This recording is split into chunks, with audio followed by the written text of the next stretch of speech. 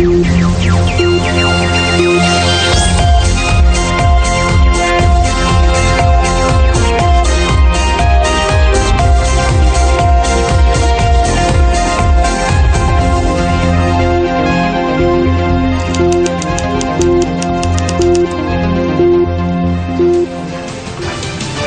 අයිබෝවන් ප්‍රවෘත්ති වාර්තාකරණයේ ප්‍රමුඛයා news first රාත්‍රී 7 ප්‍රධාන ප්‍රවෘත්ති ප්‍රකාශය සමගින් මම රන්දික සපුආරච්චි. මම චානුදිසානායක ප්‍රථමයෙන් අවධානයේ ප්‍රධාන ප්‍රවෘත්ති සිරස්තල වෙත. සයිටම් ප්‍රධාන විධායකගේ නිවසට පොලිස් ආරක්ෂාව වෙඩි තැබීම ගැන තවදුරටත් පරීක්ෂණ. ස්ථාවර නියෝග කඩකිරීම ගැන කතානායකවරයාගේ අප්‍රසාදය. ස්ථාවර නියෝග කරලා මට අලුත් සම්ප්‍රදායක් ඇති කරන්න බෑ මම මේ පුටුවේ ඉඳගෙන මට ඒක කරන්න බෑ නායක පුටුවේ ඉන්නකොට මටත් මේක හරියට කරගන්න කරුණාකර අවස්ථාව දෙන්න පස් ප්‍රශ්නයකින් පාර්ලිමේන්තුව උණුසුම් වෙයි. මම ගරු ඉඩම් ඇමතුමාට කියනවා මේ ඉඩම් ගැන විස්තර දෙන්න එපා. මොකද මූ හදන්නේ තව කපන්න. මම අහවේ එක ප්‍රශ්නයයි. ඒ ප්‍රශ්නේ මොකද්ද? රංජන් රාමනායක කළු ගලක් ඉල්ලලා ලියුමක් LRC එකට දුන්නද නැද්ද කියලා. කායේ බහුතර ජනතාව දන්නවා. මම ඒ වගේ හොරකම් වැලි කැපීම් සම්බන්ධ නැහැ කියලා. ශ්‍රී ලංකන් ගුවන් සමාගමේ ආයෝජනයට ඇමරිකාවේ TPG සමාගම තෝරා ගැනීමට අවධානය. මාලබේ සයිටම් පෞද්ගලික වෛද්‍ය විද්‍යාලයේ ප්‍රධාන විධායක නිලධාරීවරයාගේ නිවසට පොලිස් ආරක්ෂාව ලබා දීමට පියවරගෙන තිබෙනවා. ඊ රාත්‍රියේ ඔහුට එල්ල වූ වෙඩි ප්‍රහාරය සම්බන්ධයෙන් තවමත් පරීක්ෂණ ක්‍රියාත්මක අතර සැකකරුවන් කිසිවෙකුත් අත්අඩංගුවටගෙන නැහැ. මාලබේ සයිටම් ආයතනයේ ප්‍රධාන විධායක නිලධාරී වෛද්‍ය සමීර සේනාරත්න මහතා ඊයේ රාත්‍රී 8ට පමණ එහි සිට නිවසට යමින් සිටියේදී මෙම වෙඩි ප්‍රහාරය ලැබුණා. වෛද්‍යවරයා ගමන්ගත් රථයට වෙඩි ප්‍රහාරය එල්ල වී ඇත්තේ සයිටම් ආයතනයේ සිට මීටර 100ක් පමණ දුරක් ගිය පසුවයි. මුහුණු ආවරණය වන ආරක්ෂිත හිස්වැසුම් පැළඳ යතුරුපැදියකින් පැමිණි දෙදෙනෙකු වෙඩි තැබූ බව වෛද්‍ය සමීර සේනාරත්න මහතා පවසනවා. කෙසේ වෙතත් වෙඩි ප්‍රහාරයෙන් ඔහුට හානි වූයේ නැහැ. බයික් එකකින් ආවා මේ දෙන්නෙක් ඇවිල්ලා මට මේ ඉස්සරහට වෙඩි තිබ්බා. තියෙනකොටම මේ මට ඇත්තටම හිතා ගන්න බැරි වුණා. ඊට පස්සේ බයික් එක මගේ රියදුරු ආසනයේ පැත්තට ආවා. ඇවිල්ලා ඊට පස්සේ නැවතත් වෙඩි තියන්න පටන් ගත්තා. තියෙනකොට මම එකපාරම මේ පහත් වුණා. මට හිතා ගන්න බෑ. ඉතින් මොකද්ද වුනේ කියලා මට හිතා ගන්න බෑ. මීට කලින් ඇත්තරම මට මේ ටෙලිෆෝන් කෝල් දීලා අපේ නඩු විභාගය අවසන් වුණාව දවසේ ඒ කියන්නේ 31 වෙනිදා පළවෙනිදා ඉඳලම මට නිර්නාමික දුරකථන ඇමතුම් හම්බුණා. ලැබුණා. ඒ වයින් මට කිව්වේ මේ සයිට් ආයතනයෙන් ඉවත් වෙන්න. එහෙම නැත්නම් ජීවිතය අනතුරේ කියලා කිව්වා. ඊට අමතරව මේ තර්ජනාත්මක ලිපි කිහිපයකුත් මට ලැබුණා. මගේ ගෙදරටත් එවලා තිබ්බා සයිටම් එකටත් එවලා තිබ්බා. දෙන්නෙක් ආවේ ෆුල් ෆේස් හෙල්මට් දාලා තිබ්බේ. පොලිසිය පැවසුවේ කණ්ඩායම් තුනක් මේ වන විට පරීක්ෂණ ආරම්භ කර ඇති බවයි. වෛද්‍යවරයාගේ මෝටර රථයේ වෙඩි ප්‍රහාර 6ක් දක්නට ඇති අතර මිලිමීටර 9 වර්ගයේ පිස්තෝලයක් වෙඩි තැබීමට යොදාගෙන ඇතැයි පෙනී යන බව පරීක්ෂණ කණ්ඩායම් සඳහන් කළා. වෙඩි තැබීම සිදු ස්ථානයේ තිබී උණ්ඩ දෙකක්ද සොයාගෙන තිබෙනවා. අද දහවල් එහි පැමිණි රජයේ රස පරීක්ෂකවරයා වැඩිදුර පරීක්ෂණ පැවැත්වූ අතර ඇඟිලි සලකුණුද සටහන් කර ගැන්නා. පොලිසිය අප සමග පැවසුවේ මේ වන විට කර ඇති පරීක්ෂණ අනුව හංගේරියාවේ සහ චීනයේ නිෂ්පාදිත 9M වර්ගයේ ගිනියවියකින් මෙම වෙඩිතැබීම සිදු කළ ඇති බවට වාර්තා වන බවයි. විශේෂයෙන්ම මට මගේ වම්මත පසින් පැමිණි යතුරු පැදියක පැමිණි පුද්ගලයන් දෙදෙනෙකු අදාළ වෙඩි තැබීම සිදු කළ බවට මේ වන විට පොලිසියට වාර්තා වී තිබෙනවා. නිවුස් ෆස්ට් වෙනුවෙන් රජිත විජේතුංග මාළඹේ සිට. මේ අතර අවස්ථා ගණනාවකදී තමන්ට වරින් වර තර්ජන තිබූ බව වෛද්‍ය සමීර සේනාරත්න මහතා පවසනවා. මේ මේ තියෙන්නේ ඒවපු ලිපි මේ වගේ මේ ලිපි ගොඩක් එවලා තිබ්බ මට. ඒවයින් කිව්වේ සයිටම් එකෙන් අයින් වෙන්න එහෙම නැත්නම් මරනවා කියලා. අන්තිම දුරකථන ඇමතුමෙන් මට කිව්වේ මාරයා කතා කරනවා කියලා. මං ඉතින් hina වුණා hina වෙලා මං කිව්වා මේ මං කැමතියි මාරයා වඳුර ගන්න කියලා මම කිව්වා. ඉතින් කවුද දුන්නේ කියලා මම දන්නේ නැහැ. මාලබේ සයිටම් පෞද්ගලික වෛද්‍ය විද්‍යාලයේ ප්‍රධාන විධායක නිලධාරීවරයාට එල්ල වූ වෙඩි ප්‍රහාරය සම්බන්ධයෙන් අද පාර්ලිමේන්තුවේ අවධානය යොමු වුණා. සයිටම් එකේ යම් ප්‍රධාන නිලධාරියෙකුට වෙඩි තැබුවට පසුව වෙඩි තැබීමක් සිදු වුණා නම් මේක විවිධ ආකාරයෙන් අර්ථ ගැන්වීමක් කීමේ ඉඩකඩ තිබෙනවා. මේක සමහර විට මේට විරුද්ධ වන්නන් විසින් කරන්නලක් කියලා අර්ථකථනය කරන්න පුළුවන් දැක සමහර අමාත්‍යවරු මේ වන විටත් එවැනි ප්‍රකාශ කරලා තිබුණ මා රේඩියෝ එකේ ඇහුවා. ඒ නිසා ගරු කතානායකතුමා මේක බරපතලයි. මේක ඉක්මනින්ම මේ පිළිබඳ විධිමත් පරීක්ෂණයක් කරලා මේ පාර්ලිමේන්තුවට ඉක්මනින් වාර්තාවක් ඉදිරිපත් කරන්න. මේ සිද්ධිය ගැන පොලිසිය දැන් විභාග කරගෙන යනවා. අපිත් දැනගන්න කැමති මේකට හේතුව කුමක්ද කියලා. ඇත්ත වශයෙන්ම අපි දන්නේ නැහැ මේ මේ වෙඩි තැබීමක් සිදු වුණා මිස වෙන මොකක්වත් කරුණු අපි දන්නේ නැහැ. ඉතින් අ, පොලිස් වාර්තාව ලැබුණාම පුළුවන් නම් මේ සතිය දෙන්න කියන්න. නැත්තම් කෙසේ හෝ රට දැනුම් දෙන්න මාර්ගයක් අපි ඇති කරමු. මාලබේ සයිටම් ආයතනයේ ප්‍රධාන විධායක නිලධාරිවරයාට එල්ල වූ ප්‍රහාරය සම්බන්ධයෙන් සෞඛ්‍ය අමාත්‍යවරයා ඇතුළු කිහිප දෙනෙකු දැක්වූ අදහස් මේ. මේක රටටත් තර්ජනයක් නායකින්ට තර්ජනයක් සියලු දෙනාට තර්ජනයක්. මොකද මේ ප්‍රජාතන්ත්‍රවාදී විදියට නෙවෙයි මේ එන්නේ තුවක්කු කටෙන් කතා කරන. ඒ තුවක්කු කටෙන් කතා කරන කට්ටියට ඒකම තමයි අ, උත්තර දෙන්න වෙන්නේ ඒ වගේම ක්‍රියාවලියෙන් යහපාලනය කියලා ඒ ප්‍රජාතන්ත්‍රවාදී විදියට ඔවුන්ට විරුද්ධව ක්‍රියා කරන්නටම බෑ. ඒ නිසා වහාම වැඩි ක්‍රියාමාර්ග රජය මේකට ගන්නට ඕනේ මොකද අපි මේ පිළිබඳව අ, මේ රජයන්ට අපි සියල්ලටම මේ පිළිබඳව පෙරහුරුව තිබෙනවා. ඒ නිසා ඒ පෙරහුරුව තිබෙන නිසා මේ රටේ මේ රටේ මේ එන බීජය අවස්ථාවෙන්ම මේක මුලින්ම පිටා දබන්නට ඕනේ.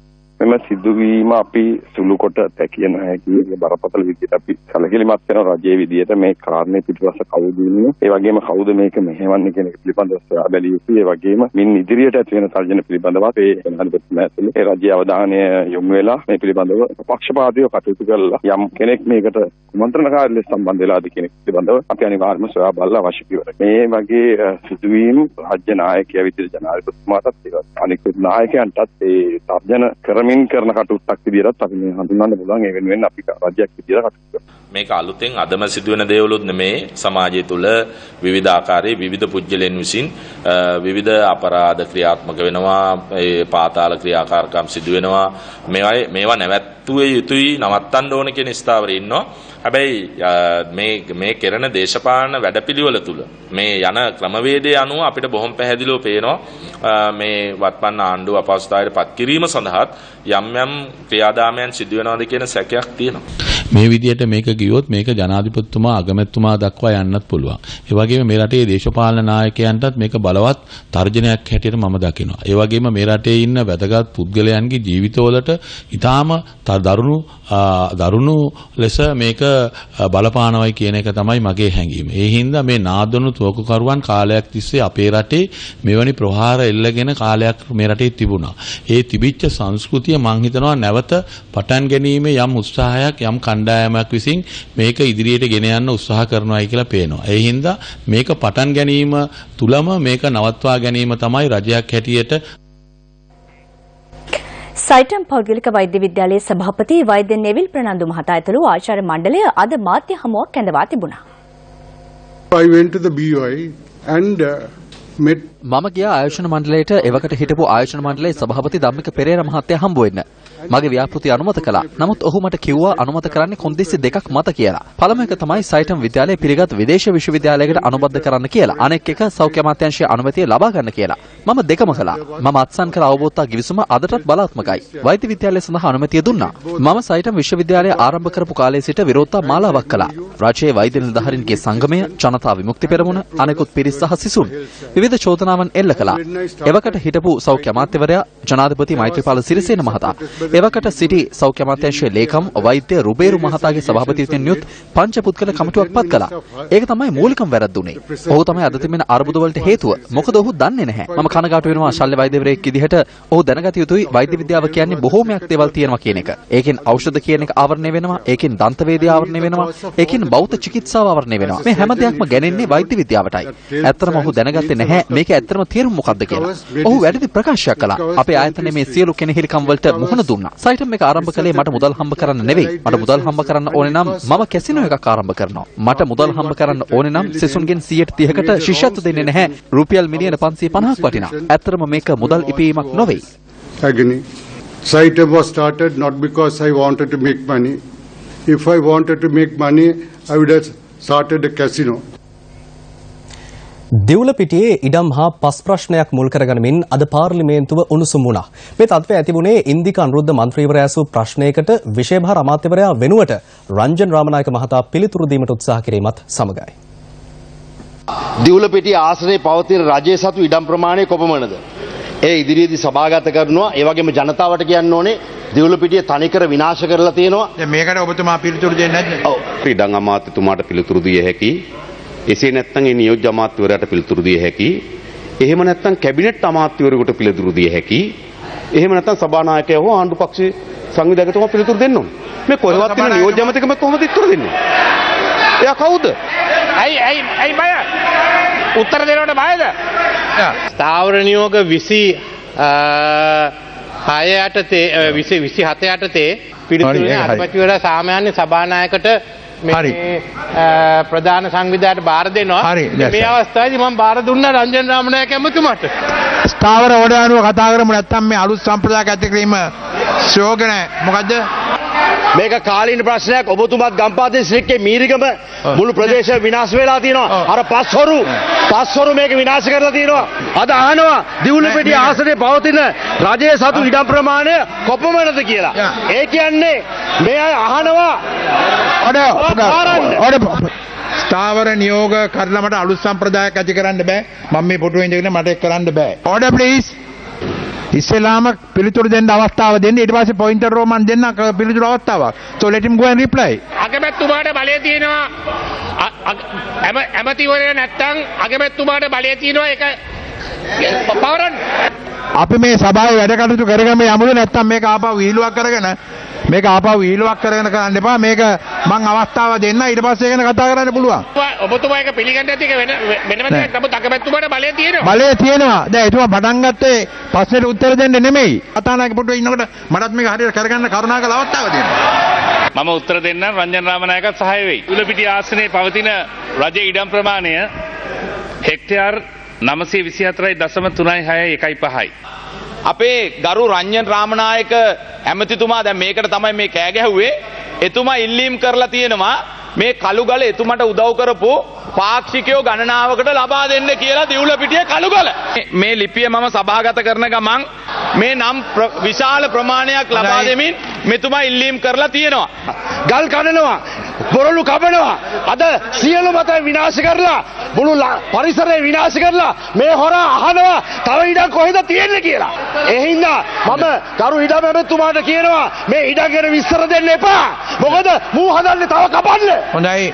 මගේ නම සඳහන් කරලා මෙතුමා අභූත චෝදනා කරනවා මේ පාර්ලිමේන්තු වරප්‍රසාද වලට මුවා වෙලා ඒ නිසා මම ඔබතුමාගෙන් ඉල්ලා සිටිනවා මම අහවේ එක ප්‍රශ්නයයි. ඒ ප්‍රශ්නේ මොකද්ද?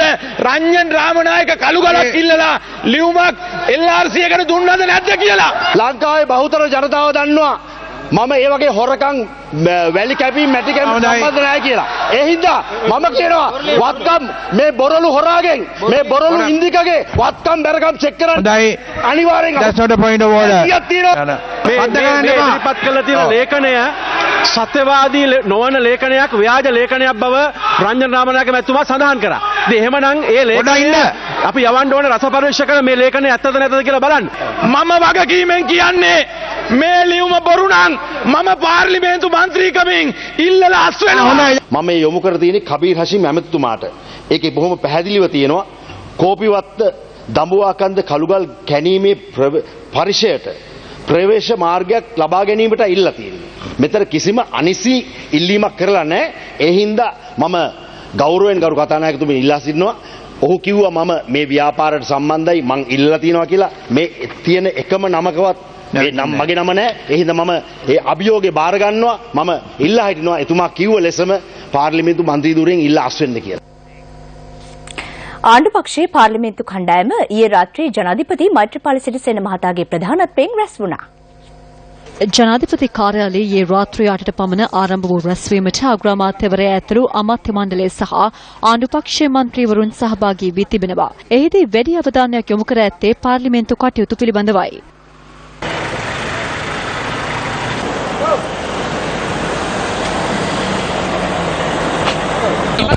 පොඩ්ඩක් කියලා යන්න. මොකක්ද කිසි දෙයක් මේ කණ්ඩායම් පාර්ලිමේන්තුව ගැන. එච්චරයි. මොකක්ද මේ කැබිනට් සංශෝධනය පිස්සුද අයියෝ ඔයගලන්ට පිස්සු. කැබිනට් සංශෝධනය ගැන මොනවද කතා කරන්නේ ඒක නායකයෝ දෙන්න කරගන්නේ අපිට අදාළ දෙයක් නෙමෙයි.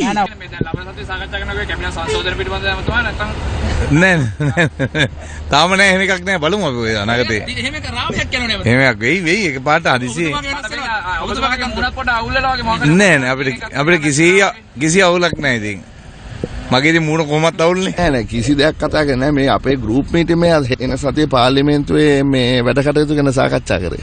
නෑ විශේෂ විශේෂ දෙයක් වශයෙන් තිබුණේ රාත්‍රී භෝජන සංග්‍රහයක් තිබිච්ච එක තමයි. වෙනදට ආණ්ඩු පක්ෂ රැස්වීමට රාත්‍රී භෝජන සංග්‍රහයක් ලබා දෙන්නේ නෑ. නෑ නෑ නෑ නෑ කිසිම දෙයක් කිසිම දෙයක් කතා කරලා නෑ නෑ කිසිම දෙයක් නෑ. අද විශිෂ්ටයි අද මම හිතන්නේ මේ මාස කිහිපයකට පස්සේ එක්සත් ජාතික පක්ෂ සහ ශ්‍රී ලංකා නිදහස් පක්ෂ පාර්ලිමේන්තු කණ්ඩායම එකතු වුණා. ආයෙත් ගොඩක් විශ්ණු හොයාගත්ත අද ප්‍රශ්න වලට. දැන් අපි මේ තීරණය කළා තියෙනවා ඒකාබද්ධව ආණ්ඩු පක්ෂ ශ්‍රී ලංකා UNP ભેදයක් නැතුව ආණ්ඩු පක්ෂය හැටියට රැස් වෙන්න මාස්පතා. අද පාර්ලිමේන්තුව රැස්වූ අවස්ථාවේදී ජනාධිපති උපදේශකයින් ගැන ප්‍රශ්න කෙරුණා. එහිදී හෙළි වූයේ හිටපු ජනාධිපතිවරයාගේ සමයේ උපදේශකයින් 106 දෙනෙකුද සිටි බවයි. උපදේශකවරුන් සහ සම්බන්ධීකරණ නිලධාරීන් කිසිවෙක් නැත ජනාධිපතිතුමා උපදේශකවරුන් ලෙස පත් කර ඇත්තේ හතර දෙනෙක් පමණයි. නමුත් අපි මාධ්‍යවල දකිනවා සෑම දිස්ත්‍රික්කයකම සම්බන්ධීකරණ නිලධාරීන් ව්‍යාපෘති නිලධාරීන් පත් කරනවා. මම දන්නේ මොන මාධ්‍යවලද එතුමා සඳහන් කරන්න කියලා. එතුමාට වැරදිලත් දන්නේ පහුගිය ජනාධිපති මහින්ද රාජපක්ෂ මැතිතුමාට නම් උපදේශකවරු සහ අනිත් කාර්ය 196ක් හිටියා. හැමදාම කොහෙද යන්නේ නැවුව මල්ලේ පොල් කියන්නේ. මේ ලැයිස්තුව සකස් කිරීමට ජනාධිපති ලේකම් කාර්යාලයේ අට සමත් කිසිවෙක් සිටියේ නැද්ද? අපි දන්නවා කවුද අට සමත් කියලා මේ මේ පාර්ලිමේන්තුවෙත් ඉන්නවානේ අට සමත් නමුත් ප්‍රශ්නයක් අහන්න ගරු මන්ත්‍රීතුමා. ඔව් ඒක තමයි. සාතික ගේන්න අර වෙන ප්‍රශ්නයක් මොකද ගරු කතානායකතුමා මට අහන්න ප්‍රශ්න නැහැ. මොකද මෙතුමාගේ උත්තරේ අවිධිමත් හින්දා. ගරු කතානායකතුමනේ මම එතුමාට පිළිතුරක් දෙන්නම්. මහින්ද මහින්ද රාජපක්ෂ මැතිතුමා 9 කෝටි 25 ලක්ෂ 63998ක් වියදම් කරලා තියෙනවා මේ ගිය ගිය මේ මේ ආණ්ඩුවේ මේ මේ උපදේශකවරුන්ට එතුමාගේ කාර්ය මණ්ඩලයට. දැන් ඒකේ අපි මෙතනින් 19 ලක්ෂ 68094යි. හරි. මහින්ද රාජපක්ෂ මහතා ජනාධිපති ධූරය දැරූ සමයේ සිදු කළ ගුවන් ගමන් වෙනුවෙන් රුපියල් කෝටි 11කට අධික මුදලක් ශ්‍රී ලංකන් ගුවන් සමාගමට ගෙවිය යුතු වැටයි අනාවරණය වනවා. ජනාධිපතිවරයාගේ වැඩ් ශීර්ෂය යටතේ මෙම මුදල ගෙවීමට සිදු ඇත්තේ ජනාධිපති කාර්යාලයටයි. මහින්ද රාජපක්ෂ මහතා ජනාධිපති දුරේදරූ කාල සීමාවේ සිදු කළ ගුවන් ගමන් 10ක් සඳහා රුපියල් කෝටි 11.34ක මුදලක් ශ්‍රී ලංකන් ගුවන් සමාගමට ගෙවිය යුතුව තිබෙනවා. ජනාධිපතිවරණයේ ආසන්නයේ අවස්ථා දෙකකදී තිරුපති සංචාර සඳහා වැය කළ ගුවන් ගමන් ගාස්තුවද ඊට ඇතුළත්. දෙදහස් දාහතරේ දෙසැම්බර් දහ අට සහ තිස් එක යන දිනවල නිකුත් කර ඇති ඉන්වොයිස් අනුව තිරුපති සංචාර සඳහා ගෙවිය යුතුව ඇති මුදල රුපියල් ලක්ෂ තිස් නවයකට අධිකයි. දෙදහස් එකොළහේ මාර්තු නවවැනි දින ඇති ඉන්වොයිස් පතට අනුව කොළඹ සහ දකුණු අප්‍රිකාවේ ජොහැනස්බර්ග් අතර ගුවන් ගමන සඳහා ශ්‍රී ලංකන් සමාගමේ UL 1081 දෙක දරණ යානය කුලියට ගැනීම වෙනුවෙන් රුපියල් කෝටි 3මාරක් ගෙවිය යුතුව තිබෙනවා. දෙදහස් දා හතර වසරේ ඔක්තෝබර් විස්ස සහ නොවැම්බර් දහ යන දින දෙකේ UL හතලිස් පහයි හැත්තෑ එක දරණ යානය කුලියට ගැනීම වෙනුවෙන් නිකුත් කළ ඉන්වොයිස් වටිනාකම රුපියල් කෝටි පහකට අධිකයි. රෝම හා මිලානෝ සංචාරය සඳහා යානය ලබාගෙන තිබෙනවා. දෙදහස් හතරේ දෙසැම්බර් මස දහය සහ පහළව කත්මණ්ඩු සහ මාලදිවයිනේ කළ සංචාරය සඳහා UL බිඳුවයි බිඳුවයි එක සහ UL හතලිස් එකයි එකොළහ දරන යානා වෙනුවෙන් ගෙවීමට ඇති මුදල රුපියල් කෝටි දෙකයි දශම අටක්. මෙම සංචාර වැඩි ප්‍රමාණයක් සඳහා පවුලේ සාමාජිකයින්ට අමතරව නිලධාරින් මෙන්ම පෞද්ගලික හිතවතුන් ඇතුළු විශාල කණ්ඩායම්ද සහභාගී වීම විශේෂත්වයක්. ශ්‍රී ලංකන් ගුවන් සමාගම ප්‍රතිව්‍යුහගත කිරීම සඳහා යෝජනා ඉදිරිපත් කළ සමාගම් අතරින් TPG නැමැති අමරිකානු සමාගම මේ වන විට ඒ සඳහා සුදුසු බවට යෝජනා වී ඇතැයි රාජ්‍ය ව්‍යවසාය සංවර්ධන නියෝජ්‍ය මාත්‍ය ඉරාන් වික්‍රමරත්න මහතා පවසනවා. නියෝජ්‍ය මාත්‍යවරයා සඳහන් කළේ මේ සම්බන්ධයෙන් තවමත් අවසන් තීරණයක් ගෙන නොමැති බවයි. ශ්‍රී ලංකන් ගුවන් සමාගම හා මිහින් ලංකා සමාගම රාජ්‍ය පෞද්ගලික ඒකාබද්ධ ව්‍යාපාරයක් ලෙස පවත්වාගෙන යාම සඳහා රජය පසුගියදා ආයෝජකින්ට ආරාධනා කළා. ඒ අනුව ලන්සු ඉදිරිපත් කර තිබූ ආයෝජකින් දස දෙනෙකු අතරින් ශ්‍රී ලංකික සම්භවයක් ඇති පීසයා සමාගම මාලදවෙනට සම්බන්ධ සුපර් ගෲප් සමාගම සහ අමරිකානු සමාගමක් වන TPG සමාගම අවසන් ලයිස්තුවට ඇතුළත්ව තිබුණා. මේ අතුරින් සුදුසු ආයෝජකයෙකු තෝරා ගැනීමට විශේෂ කමිටුවක් පත් කෙරුණු අතර ඔවුන් මේ වන විට එක ආයෝජකයෙකු යෝජනා කර තිබෙනවා. ඒ ආයතන තුනෙන් එක ආයතනයක් එක්ක පමණක් සාකච්ඡාවලට යන්න තීරණයක් අරගෙන තියෙනවා ඒ කොමිටුව ඒ කොමිටුව ඒ තීරණය රජයට දීලා තියෙනවා. ඉතින් ඒ ආයතනය එක්ක රජය සාකච්ඡා කරගෙන යනවා. ඒක දීර්ඝ සාකච්ඡාවක්. ඒ ඒ ආයතනය ඇවිල්ලා ප්‍රයිවට් ඉක්විටි ෆන්ඩ් එකක් TPG කියලා ඒක සංගවල කරන්න යන ක්‍රියාවලියක් නෙමෙයි මේක සම්පූර්ණ විනිවිදභාවයෙන් කරන්නේ. ඒකෙන් සඳහන් කරන්නේ අපි ඒ ආයතනයට මේක දෙනවා කියන එක නෙමෙයි. මේක සාකච්ඡාවට පමණයි. සාකච්ඡා කරලා අපිට අපේ අවශ්‍යතාවය සපුරන්න පුළුවන් නම් එහෙනම් ඒ ආයතනයකම අපිට ගනුදෙනුවක් කරන්න පුළුවන්. ඒ ආයතනය දීර්ඝ කාලයකට ගුවන් සේවාවන් තුල ආයෝජනය කරලා තිනවා. ඒ අයට ඒ පළපුරුද්ද හැකියාව තියෙනවා. ඇමරිකාවේ TPG සමාගම දැනටමත් මෙරට ව්‍යාපාර කිහිපයක ආයෝජනය කර ඇති අයුරු කොටස් වෙළඳපොළ ගනුදෙනු විමසා බැලීමේදී දැකගත හැකියි. දෙදහස් දාහතර අගෝස්තු මස පහළස් වනදා ඩේලි මිර පුවත්පතේ ව්‍යාපාරික අතිරේකයට අනුව ඔවුන් යුනියන් බැංකුවේ වැඩි කොටස් ප්‍රමාණයක් මිලදීගෙන ඇත්තේ කල්චර් ෆයිනන්ස් හෝල්ඩිංස් ලිමිටඩ් නැමති සමාගම යටතේ. යුනියන් බැංකුවේ දෙදහස් දාසය තුන්වන කාර්තුව සඳහා වන මූල්‍ය ප්‍රකාශන විමසා බැලීමේදී සයට හැත්තෑවක කොටස් හිමිකාරීත්වය මෙම සමාගම සතු වනවා. මේ අතර NDB බැංකුවේ පසුගිය වසරේ තුන්වන කාර්තුවේ මූල්‍ය ප්‍රකාශන විමසා බැලීමේදී පර්පචුවල් ඉක්විටි හා යුනියන් බැංකුව එක්ව සයට දෙකයි දශම හතයි තුනක කොටස් මිලදීගෙන ඇති අයුරුද දැකගත හැකි. පර්පචුවල් ඉක්විටි සමාගමේ ලිපිනය හා හිටපු මහබැංකු අධිපති අර්ජුන් මහෙන්ද්‍රන් මහතාගේ බෑනාට අයත් පර්පචුවල් ට්‍රෙෂරිස් සමාගමේ ලිපිනේ තැති සමානතා අප පසුගිය දිනවල අවස්ථා ගණනාවකදී වාර්තා කළා. රටේ ජනතාවටවත් කිසිම වෘත්තීය සමිතියකටවත් දැනුම් දීලා නැහැ. තෝරාගත්ත සමාගම මොකක්ද? ඒ තෝරාගත්ත සමාගමේ තියෙන කොන්දේසි මොනවද යන්න? මේ සම්බන්ධයෙන් දැනුවත් නොකිරීම තුළ දැඩි සැකයක් පවතිනවා. අපිට මේ ප්‍රතිවිකෘත කරන වැඩපිළිවෙල රහසගතව සංගවාගෙන කරනවා කියලා ඉවරලා බැඳුම් කර මහා මගඩියේ මුදල් යොදවා ජාති ගුවන් සේවය මිලදී ගැනීමට එක් සමාගමක් ඉදිරිපත් වෙලා සිටිනවා කියන කාරණාව. ඒ සම්බන්ධයෙන් අපි රජයට කියන්නේ බැඳුම් කරේ මුදල් යොදවා මේ ජාති ගුවන් සේවය යම්කිසි සමාගමකට පැවරීමට බලාපොරොත්තු වෙන රජය. ඒකට අපි දැඩි ලෙස විරෝධය පළ කරනවා. පැහැදිලි විනිවිදභාවයකින් තොරව මේ කටයුතු සිද්ධ කරන්න රජය ලෑස්ති වුණොත් ඒකාබද්ධ ගුවන් තොටුපළ වෘත්තීය සංධානයේ විදිහට අපි දැඩි අරගලයක් මේ වෙනුවෙන් කරනවා කියන ප්‍රකාශය මම මෙයාලා කරන්න සතුටුයි. රජයේ වාහන අවභාවිතය සම්බන්ධයෙන් අත්අඩංගුවටපත් පාර්ලිමේන්තු මන්ත්‍රී විමල් වීරවංශ මහතා ලබන 20 වෙනිදා දක්වා අද යලි රක්ෂිත බන්ධනාගාරගත කෙරුණා. ඒ හෝ කොටුව මහේස්ත්‍රාත් ලංකා ජයරත්න මෙනවිය හමුවට අද ඉදිරිපත් කිරීමෙන් අනතුරුවයි. නඩුවේ දෙවන සැකකරු වන රාජ්‍ය ඉංජිනේරු සංස්ථාවේ හිටපු නියෝජ්‍ය සාමානාධිකාරී සමන්ත ලොකු හැන්නදිගේ මහතාද ලබන 20 වෙනිදා දක්වා රක්ෂිත බන්ධනාගාරගත කෙරුණා. ඔහු සම්බන්ධයෙන් වන ඇප ඉල්ලීම පිළිබඳ තීන්දුව එදිනට නිකුත් කරන බවද මහේස්ත්‍රාත්වරිය සඳහන් කළා. මහේස්ත්‍රාත්වරී මූල්‍ය අපරාධ කොට්ටාසයට නියම කරේ වීරවංශ මහතා අවභාවිත කළ බව කියන වාහන 40ක් සම්බන්ධයෙන් රාජ්‍ය ඉංජිනේරු සංස්ථාවේ හිටපු සභාපති ආශු මාරසිංහ මහතා ඇතුළු හිටපු සභාපතිවරුන් දෙදෙනා අනුගමනය කළ පියවර නීත්‍යානුකූලදයි විමසා වාර්තාවක් ඉදිරිපත් කරන ලෙසයි. හිටපු නියෝජ්‍ය අමාත්‍ය ලසන්ත අලගිවන්න මහතාට ලබා දුන්න වාහන තුනක් පිළිබඳවද විමර්ශන නිලධාරීන් අද අධිකරණයට දැනුම් දුන්නා. මේ අතර පසුගිය මාස 24 වනදා විමල් වීරවංශ මහතා අධිකරණයට ඉදිරිපත් කළ අවස්ථාවේ අධිකරණයට අපහාස කිරීමේ චෝදනා යටතේ අත්අඩංගුවට ගැනුණු පුද්ගලයා අද එම වරද පිළිගත්තා. කොටුව මහේස්ත්‍රාත් ලංකා ජයරත්න මෙනවිය ඔහුට වසර එකහමාරක සිරදනුවක් නියම කර එය වසර 7කට අත්හිටවනු ලැබුවා.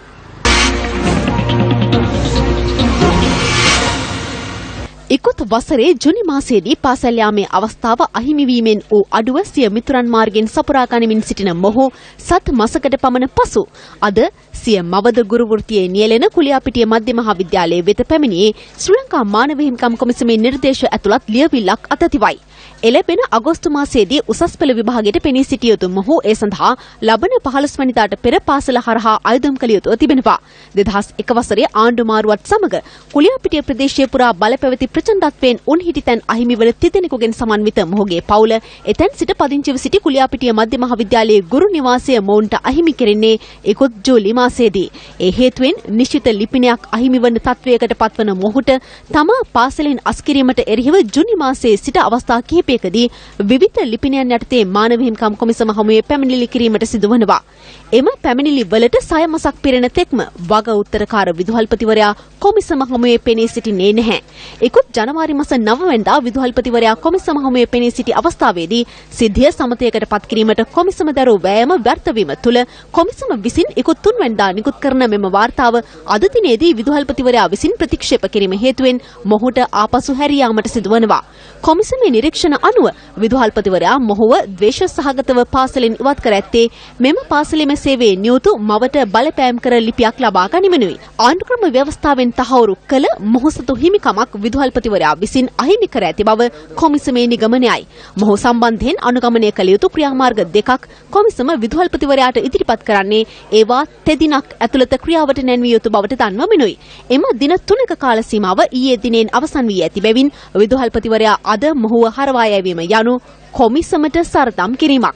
රජයේ වෙනත් කිසිදු පාසලක විදුහල්පතිවරයෙකුට නොමැති වරප්‍රසාද මහජන මුදලින් සපයමින් මෙම විදුහල්පතිවරයාව රකින්නේ අධ්‍යාපන අමාත්‍යංශයේ චක්‍රලේඛවලට පටහැනිව හා ස්වාධීන කොමිෂන් සභාවක්ද තුට්ටුවකට මායිම් නොකරමින් හැසිරෙන නිසාද අධ්‍යාපන අමාත්‍යංශයේ ලේකම්තුමනි මේ ඔබේ අවධානය පිණිසයි.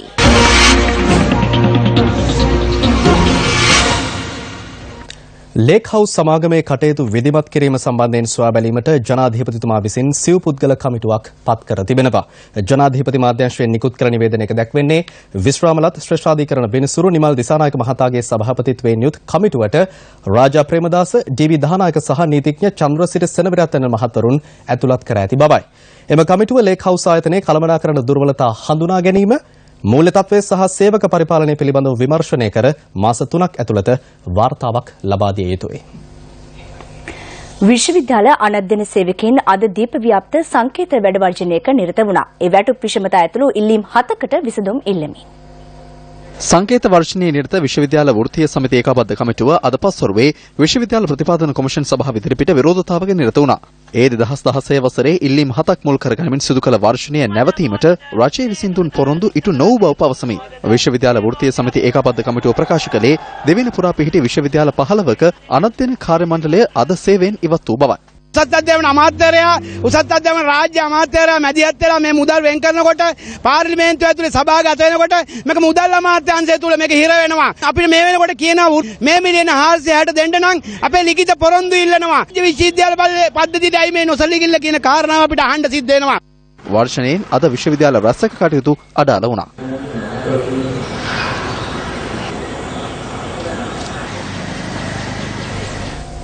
අද ක්‍රීඩා ප්‍රවෘත්තිගෙන එන්නේ දුතික ගයශාන්. ස්තුතියි රන්දික.